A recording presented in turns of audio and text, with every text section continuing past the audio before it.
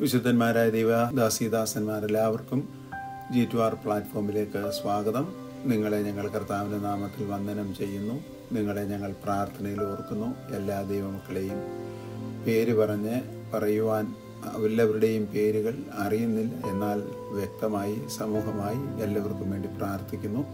ദൈവമെല്ലാം അനുഗ്രഹിക്കട്ടെ. എന്റെ പേര് Kuruvila Varghese G two R എന്നാൽ ഉൽപ്പത്തി പുസ്തകം മുതൽ വെളിപ്പാട് പുസ്തകം വരെ തിരുവചനത്തിൽ കാണുന്ന അതിവിശിഷ്ടമായ വിഷയങ്ങളെ എടുത്ത് അതിൽ നിന്ന് അർത്ഥങ്ങൾ അതിന്റെ വ്യാപ്തികൾ ദൈവജനത്തെ അറിയിക്കുക എന്നുള്ള നിസ്വാർത്ഥവും നിഷ്കളങ്കവുമായ ആഗ്രഹം മാത്രമാണ് ഈ ശുശ്രൂഷയുടെ പിൻപിൽ ഉള്ളത്. പത്രോസ് എഴുതിയ ഒന്നാമത്തെ ലേഖനം രണ്ടാമധ്യായം ഒൻപതാമത്തെ വാക്യത്തെ കേന്ദ്രീകരിച്ചുകൊണ്ട് രാജകീയ പുരോഹിതവർഗം അപ്പോൾ രാജ ശുശ്രൂ രാജാവിന്റെ ശുശ്രൂഷകൾ പുരോഹിതന്മാരുടെ ശുശ്രൂഷകൾ ഇത് രണ്ടും കൂടെ കോർത്തിണക്കി പുതിയ നിയമത്തിൽ രാജകീയ പുരോഹിത വർഗത്തിന്റെ ശുശ്രൂഷകൾ ഇത്യാദി വിഷയങ്ങളാണ് നാം പഠിച്ചുകൊണ്ടിരിക്കുന്നത്. പഴയ നിയമത്തിൽ പാപപരിഹാര ദിവസം മഹാപുരോഹിതൻ തന്റെ ജനത്തിനു വേണ്ടി ചെയ്യുന്ന പ്രായച്ചിത്ത ശുശ്രൂഷകൾക്ക് അത് നിഴലാക്കിയും പുതിയ നിയമത്തിൽ നസറായന യേശു ക്രിസ്തു ശ്രേഷ്ഠ മഹാപുരോഹിതൻ തന്നിൽ വിശ്വസിക്കുന്നവരുടെ പാപപരിഹാരത്തിനു വേണ്ടി പ്രായശ്ചിത്തയാഗമായി ക്രൂശിൽ മരിച്ച് മരത്തിന്മേൽ മരിക്കുന്നവൻ ശവിക്കപ്പെട്ടവൻ എന്ന വിധത്തിൽ മരണം ശാപത്തിന്റെ പരിണത ഫലമാണല്ലോ ശാപഗ്രസ്തരായി നമ്മളെ വിടുവിച്ച് സ്നേഹസ്വരൂപനായ പുത്രൻ രാജ്യത്തിൽ അവന്റെ സഭയുടെ അംഗങ്ങളും ഭാവിയിൽ പുത്രനായ മണവാട്ടിയും മണവാട്ടിയുമാക്കി തീർത്ത ദൈവത്തിന്റെ വിശിഷ്ടമായ കൃപകളെ വർണിക്കുക മാത്രമാണ് നാം ഈ കാര്യത്തിൽ ഈ ശുശ്രൂഷകളിൽ കൂടെ നിർവഹിക്കുന്നത്. അതിൽ പഴയ നിയമത്തിലെ പുരോഹിതന്മാരെയും മഹാപുരോഹിതന്മാരെയും അവരുടെ മുൻപിൽ വരുന്ന സകല ജനത്തെയും അനുഗ്രഹിക്കേണ്ടതിനു വേണ്ടിയും കൂടെയാണ് പുരോഹിതന്മാരെ ആക്കി വെച്ചത് എന്ന് നാം കണ്ടു. എങ്ങനെയാണ് അനുഗ്രഹിക്കേണ്ടത് ഇത്യാദി വിഷയത്തെക്കുറിച്ചുള്ള വിഷയങ്ങളും സംഖ്യാപുസ്തകത്തിന്റെ ആറാം അധ്യായത്തിൽ നിന്ന് നാം പഠിക്കുകയുണ്ടായി. പുതിയ നിയമത്തിൽ അനുഗ്രഹവും ശാപവും എന്ന വിഷയം തുടർന്ന് നമുക്ക് ചിന്തിക്കാം. എന്ന് പറഞ്ഞിട്ടാണ് കഴിഞ്ഞ ദിവസത്തെ ക്ലാസ് നമ്മൾ സമാപ്തി കുറിച്ചത് പുതിയ നിയമത്തിൽ ഒരിക്കലും ശപിക്കുവാനോ അല്ലെങ്കിൽ ശാപഗ്രസ്തമാകുമെന്നോ ഭയവും ഒരു ദൈവ പൈതലിനും വേണ്ട. നമ്മുടെ രക്ഷിതാവും കർത്താവുമായ ശ്രേഷ്ഠ മഹാപുരോഹിതൻ ശുശ്രൂഷ ആരംഭിച്ചപ്പോൾ അനുഗ്രഹത്തിന്റെ വാക്കുകൾ പറഞ്ഞ് അനുഗ്രഹിച്ചുകൊണ്ട് കൈ ഉയർത്തി തന്റെ കൂടെ നിന്നിരുന്ന അഞ്ഞൂറ് പേരുടെ മേലും അനുഗ്രഹത്തെ വർഷിപ്പിച്ചിട്ട് സ്വർഗാരി സ്വർഗത്തിലേക്ക് കരേറിപ്പോയി. പിതാവിന്റെ വലതുഭാഗത്ത് തന്നെ വിശ്വസിക്കുന്ന ദൈവമക്കൾക്ക് വേണ്ടി മധ്യസ്ഥത ചെയ്തുകൊണ്ടിരിക്കുന്ന ശ്രേഷ്ഠ മഹാപുരോഹിതനാണ് നമുക്കുള്ളത്.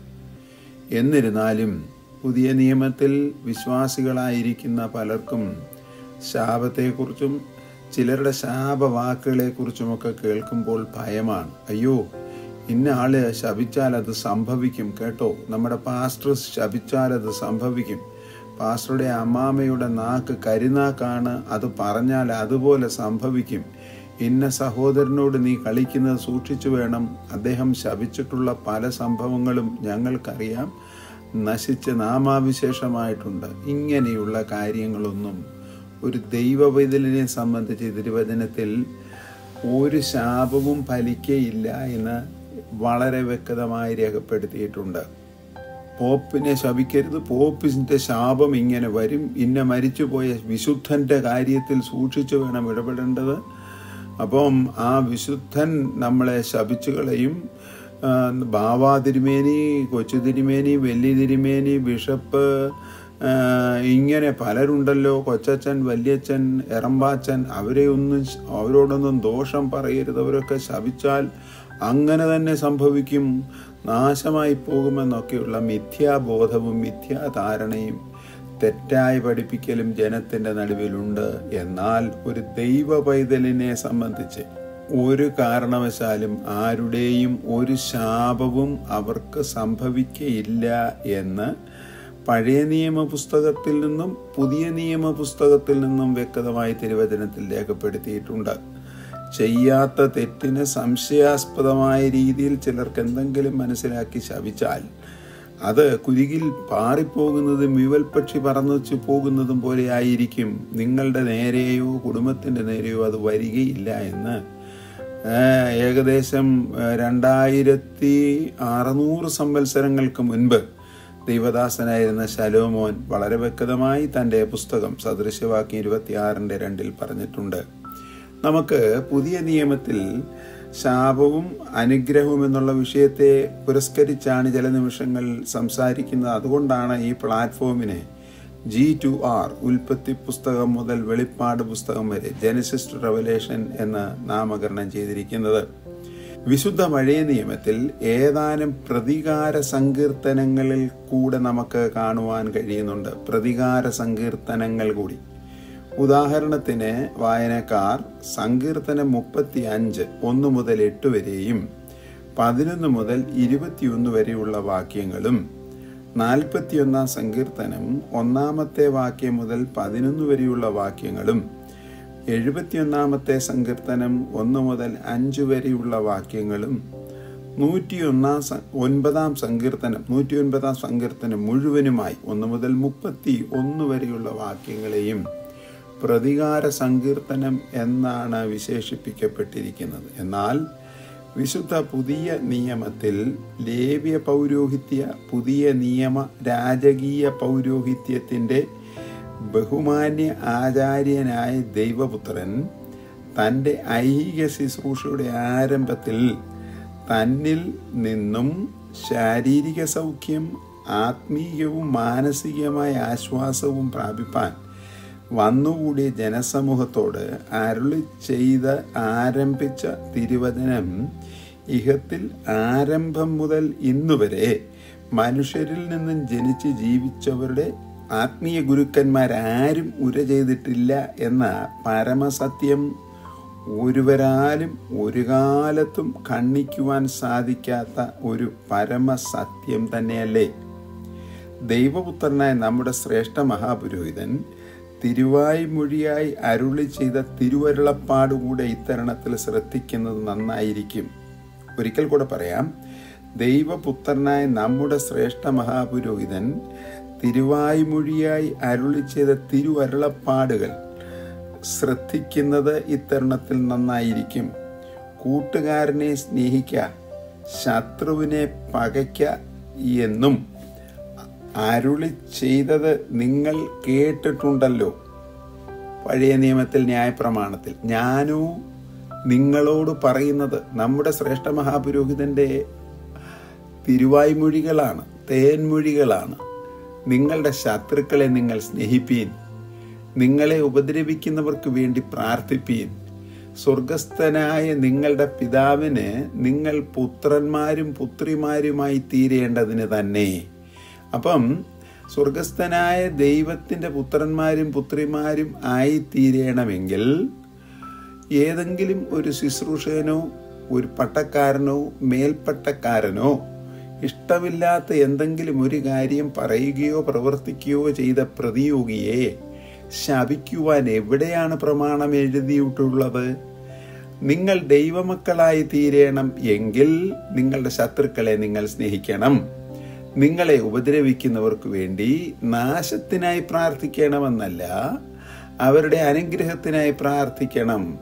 അങ്ങനെ ചെയ്യുന്ന വ്യക്തികളാണ് ദൈവത്തിന്റെ പുത്രി പുത്രന്മാരായി തീരുന്നത് ദൈവം ദുഷ്ടന്മാരുടെ മേലും നല്ലവരുടെ മേലും തന്റെ സൂര്യനെ ഉദിപ്പിക്കുകയും നീതിമാന്മാരുടെ മേലും നീതികെട്ടവരുടെ മേലും മഴ പെയ്യ്ക്കുകയും ചെയ്യുന്നുവല്ലോ.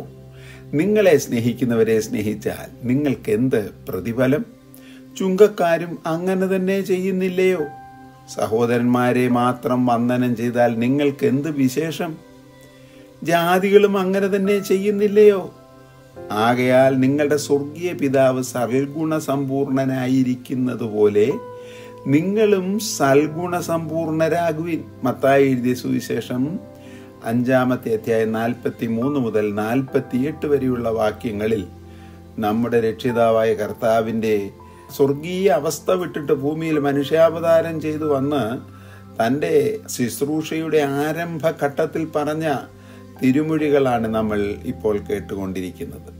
തദ്വിഷയത്തെ സംബന്ധിച്ച് വിശുദ്ധ പൗലോസ് സഭയ്ക്ക് നൽകിയിരിക്കുന്ന ഉപദേശം കൂടെ ഒന്ന് ശ്രദ്ധിക്കുക. സ്നേഹം നിർവ്യാജമായിരിക്കട്ടെ.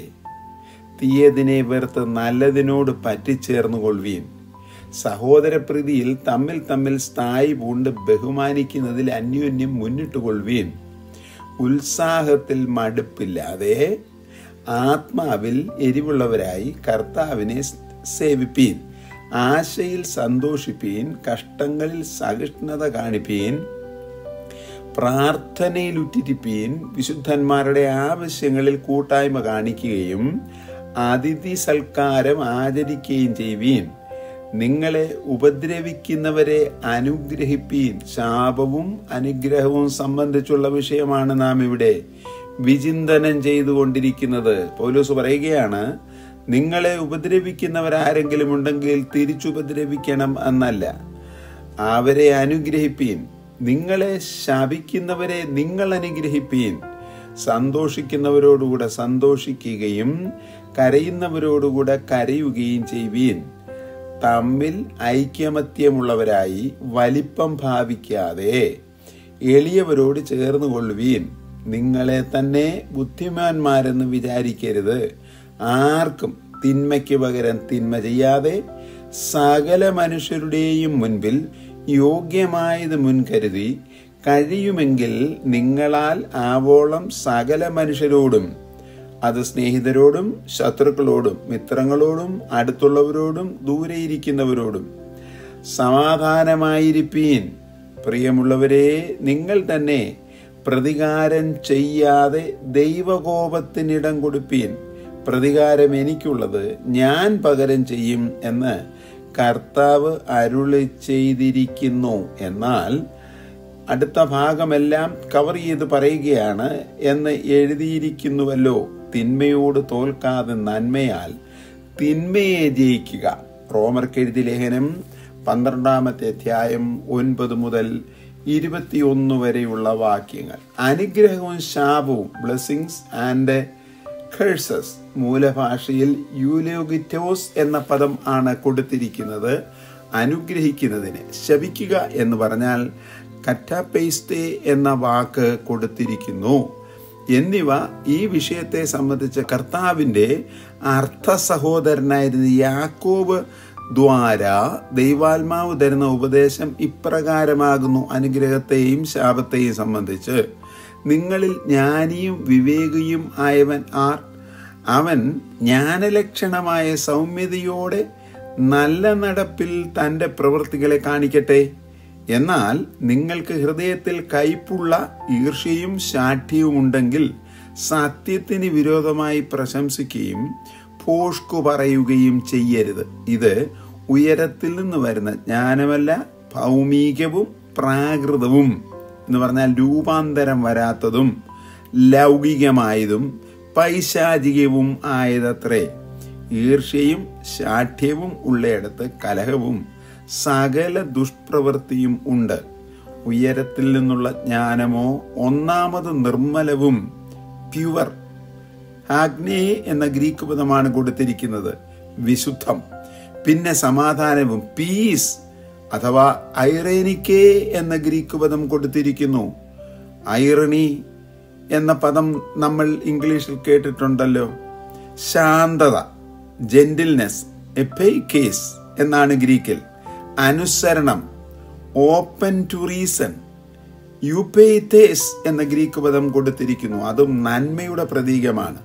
കരുണയും സൽഫലം നിറഞ്ഞതും പക്ഷപാതവും കപടവുമില്ലാത്തതും ആകുന്നു.